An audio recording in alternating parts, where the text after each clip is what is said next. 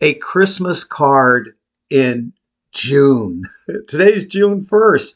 I think I'll put this on my YouTube right away. But I did. I got a Christmas card in June.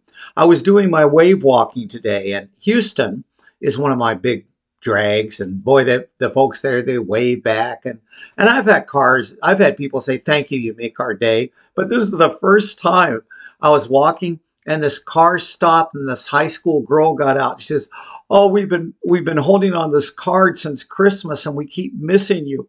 And today's the last day of school, and she said, uh, "And we wanted to give you a Christmas card." And it just, you know, and it has some really cute things. Merry Christmas to you, it says, and then it says. Uh, wishing you moments to share, blessings to enjoy, and a beautiful holiday season. And then it says, Thank you for making our mornings better and they signed that. That that was so cool. A Christmas card in June. Well, I you know what a joy it is, and you never know uh, how we can affect people, how we can engage with people.